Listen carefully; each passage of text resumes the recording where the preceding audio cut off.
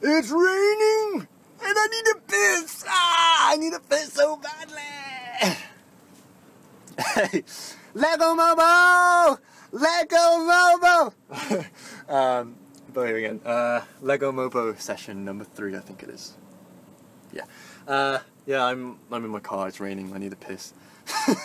um, yeah, how y'all doing? Uh, hope my last few videos have been useful to you. Like, um, I was kind of worried before coming out doing them because, like, recently I've been kind of having a bit of a dip. Like, uh, I forget if I mentioned this in my, one of my previous vlog entries, but basically, I've just been kind of very um, in my head recently, and I've been thinking about a lot of things. I've been organizing a lot, uh, organizing a lot of things, and just. Um, but recently, I've been kind of tapping back into my essence and my sensitivity. Yeah, because that period I kind of got slightly insensitive, and I was just stuck in my head. So like, even when I was, I actually did a few videos before these ones. Like, you might notice that I look slightly different from like my Axes of Perception video and like the one after that one.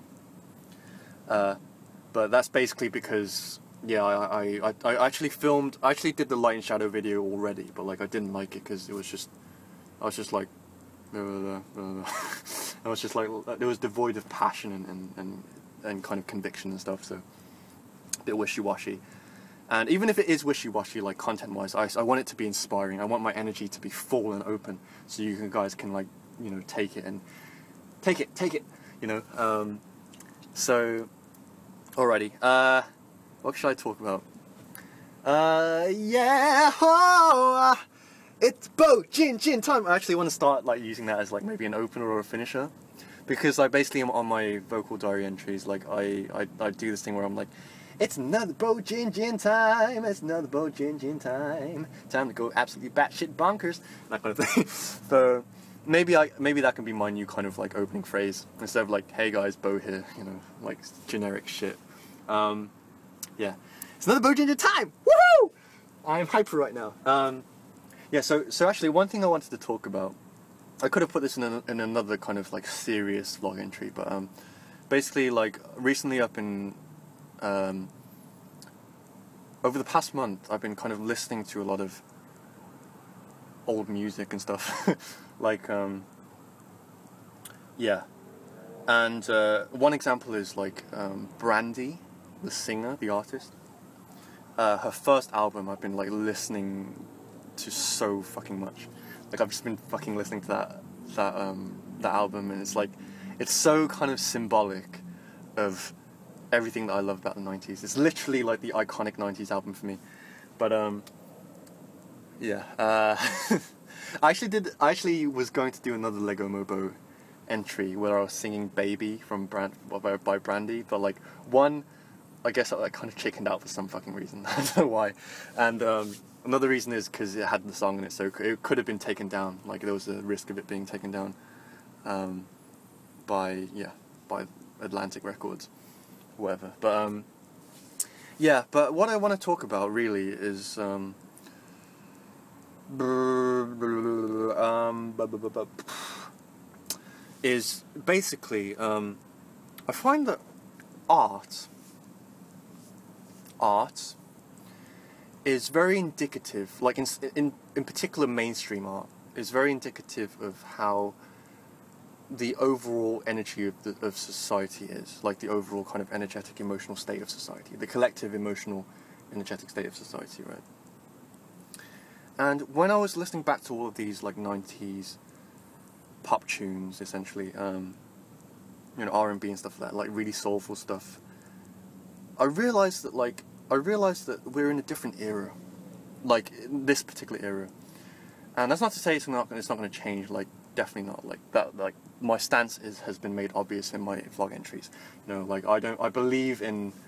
I believe in possibility. I'm someone who really believes in possibility and change. Anything that will happen, can, that can happen, will happen, and every, everything who has happened can happen again. Is is my mantra.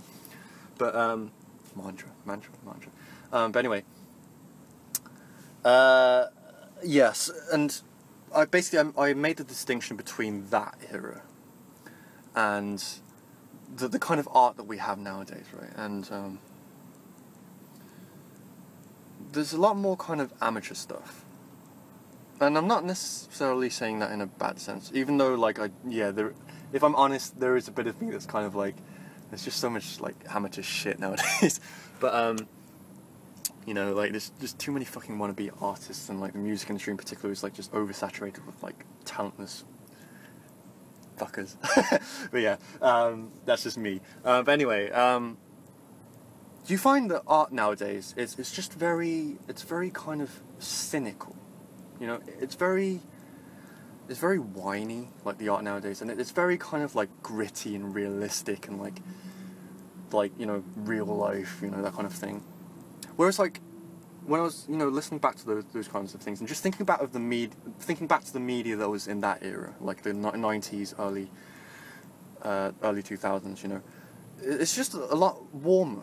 Like the vibe that I get from that kind of art is, is a lot kind of warmer, more imaginative and like people weren't so afraid to talk about like uh, think about kind of to- topics talk about topics like love and connection and real just like yeah you know that kind of thing love and connection things yeah i'm a massive hippie i don't give a fuck um, as i said i'm like sensitive and i love that shit uh, but yeah you know um, yeah, uh, and it's it's a shame, really. Like it's, I, I, feel that like people are kind of almost crying out in desperation in their art. You know, like a lot of people. well, for one, you know, I think the art industry is kind of becoming a bit too industrialized. Like it's just kind of like.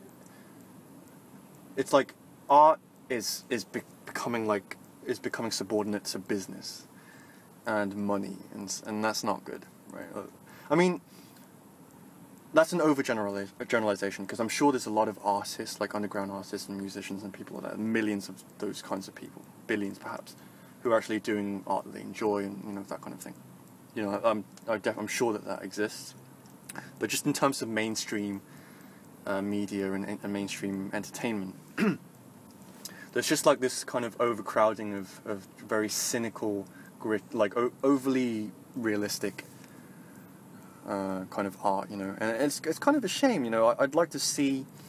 I'm definitely going to be personally my own proponent of this. Like when when I kind of when I do more mu- when I'm do more music and you know attempt to become you know become an artist, you know. Um, I want to basically push more of this kind of yeah, more kind of warmer kind of art style. I guess you could you could call it expressionism. I guess you could call it expressionism, uh, expressionism. I feel that the 90s was very expressionist. Like, it was just very kind of warm and imaginative and colourful. And it wasn't so realistic, you know, and like, things don't always have to be so realistic. And I know I talked about, um, I actually mentioned this example in, in one of my previous uh, entries. I think it was when I was talking about, was it light and shadow or symbolism and energy? I think it was light and shadow. I forget. But, um, yeah, I was saying how I, I'm escape. I'm an escapist. Like I've always been an escapist. But uh. But but then when I watch those videos, you could argue that like those kinds of themes are escapist. They're kind of fantasy oriented. Like theme, like whereas yeah, expression, expressionist or surreal, uh, surrealist. You know, like those kinds of themes but really, like, they're not really supposed to be.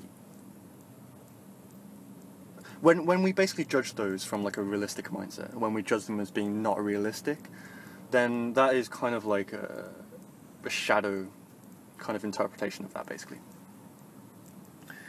Where in reality, yes, yes, that kind of thing can be escapist. Yes, it can detract. It can kind of distract us away from like you know important real issues.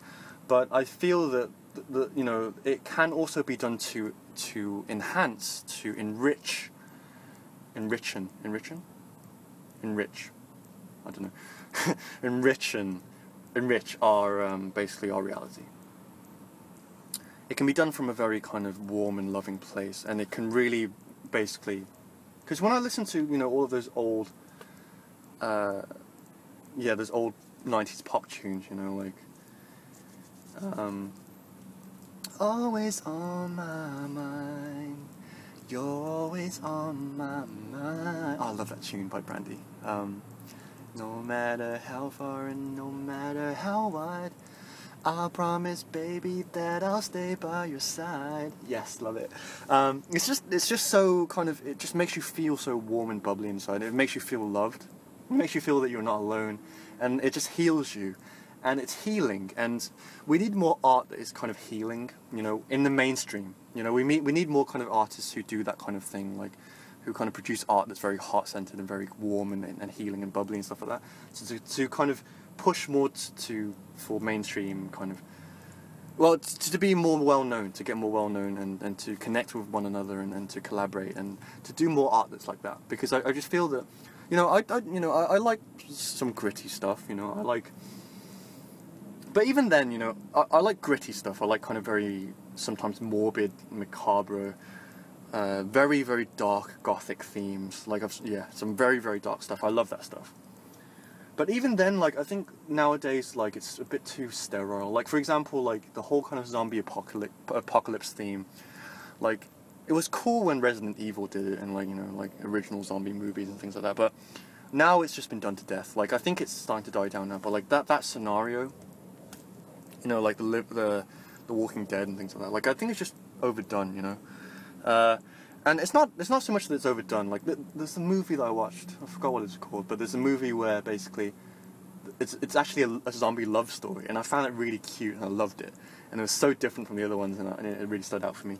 But it's just like nowadays, like those kinds of things, they're just a bit too sterile. You know, it's just like the same thing. There's not really much emotion to it. It's just like shock. It's just like dry, dry shock. You know. There's not really, there's not really, there's not really any kind of meat to it. There's not really any kind of emotional meat to it. Because even, even like a horror theme, or like a gothic theme, you know, it should, it should evoke, it should have that mood behind it, right? It should have the feeling behind it. And like, I think people are just overly obsessed nowadays with style and, and presentation and, and like the surface aspects of what makes um, something something. Somebody, somebody. That's Christina Aguilera. Um, uh, yeah, I think I mentioned that all the way back in like one of my first vlog entries about how people just, um, yeah, it's just being insensitive to energy. Like people, they don't really, they're insensitive, so like they don't really, they can't really recreate the the emotion behind their art. So it's just very stylistic, you know. It's just, it's that, it's like something by by name, you know, like a zombie film by name because it has zombies in it. It's a romance. It's a romance movie because it has romance in it. Romance, you know, there's people kissing in it and they say I love you. But like the substance, the emotion, the energy, the ah ah, you know, the ah energy, like ah, you know, the the emotion, you know, that's that's just what I find is missing in a lot of kind of examples of art nowadays and yeah, I just wanted to rant about it, you know, and just if anyone's watching this, it, it, happens to be an artist or like, you know, that kind of thing, then yeah, you know, I, yeah, you know, hopefully this will kind of get you thinking as well, and like if if you if you yeah, and not make you feel as if you're so alone. I don't know what the fuck, whatever. I'm just rambling. um, mm, what else can I do? Could show you my armpit. Do you want to see my armpit? Do you want to see my armpit? Do you want to see my armpit? Tough luck tough luck. um, yeah. I've been watching a lot of Russell Brand as well. That, that might be why I'm just kind of all over. But I feel that like, yeah, yeah. There's aspects of my personality that kind of are similar to his. I'm a bit more kind of introverted, I guess. But um, yeah, Russell Brand's a cool guy. Um, I feel that he's really moving places. And one of one of the things I don't know if I mentioned this before, but my overall plan, I might as well say now, my overall plan is, you know, yes, I want to help people by giving, like, sharing ideas and, and basically being myself, you know, showing others so they can do the same. I want to help people this way. I want to be an artist. I want to make music. Um, I want to. I want to do loads of things, but like one thing that I, I want to I want to basically contribute towards is basically improving our society. Um, I really want to get involved with this. And like Russell Brand is someone who really who's, who's really kind of passionate, really really passionate about that, and like I really I really respect him in that sense. Um, cheeky cunt no. no. I can be as well, so whatever. Um, yeah. Uh, if you Russell, if you're watching this, I love you. I really want to meet you. Um, one of my mates met you, um, but yeah. Anyway, uh, yeah. So, so so yeah, you know, I really want to be involved that kind of thing. And I, I feel that you know, I think if people come together, then a lot of what we face in society, because there is an aspect of society kind of influencing how we are and how we feel and stuff like that. But I feel that if we come together, then we can basically collaborate. We can um, combine our ideas, and we can inspire each other to basically make the changes necessary that, uh, in society. You know. Um, and you know, it's not all doom and gloom. You know, like every, like we could say, you know, a lot a lot has happened you know, recently. Like we're on the brink of war and stuff like that, the Ebola virus, whatever. But you know, I think aside from all of the negative, there's also a lot of positive. You know, there's a lot to be appreciative of. You know, it's like there's sometimes I just wake up and I'm like, wow, you know, it's it's I'm I'm so appreciative that I'm alive in, in this kind of modern modern age. You know, I can speak to millions of people through like a camera. Um, potentially, I'm not there yet, but um, I can I can drive to a car park if if I don't want to do something in, at home. Um, you know, there's there's just so much information available to you know at my fingertips. You know, the internet and stuff like that, and it's just there's so much to be appreciative of in society. And yes, some of those things can be done for bad reasons. So going back to the whole symbolism v energy thing, yes, some things, there are some negatives for technology or like money or government, but really, we I think we should we ought to start focusing on the good. You know, just thinking of the good things, thinking of the things that we're appreciative of. You know, thinking about why some you know what value some things have, and, you know that kind of thing. Um, yeah, uh, yeah. So so that's that's one thing that I really want to do, and I thought I'd share with you guys in this Lego Mobo session. it's like a mixture of seriousness and complete sh- fucking shit coming out my my mouth. um, rainbows, Technicolor fun. um, yeah, so uh, yeah, so so that's one thing that I want to do. Um, social kind of change, like social improvement, is is something that I, I'm really passionate about. And one day, hopefully, when I've got the financial support and the kind of the clout, then I can basically be involved in that and, and help help make the society a better one for everyone to live in, for our future generations. And if you are, uh, you know, if you're a young person watching this, I don't know if I'm young anymore, I'm 26, but if you're a younger person watching this, then yeah, you know, go for your dreams. And if you have similar passions, then yeah, go for them.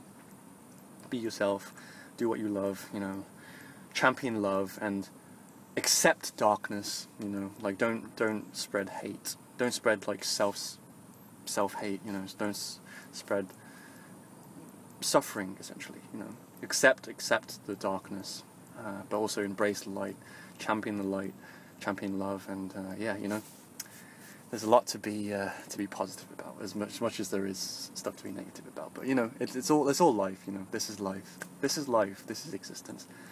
This is it. This is it. Cool. Well, I'm going to stop rambling here because it's going to be 20 minutes soon. But um, cool.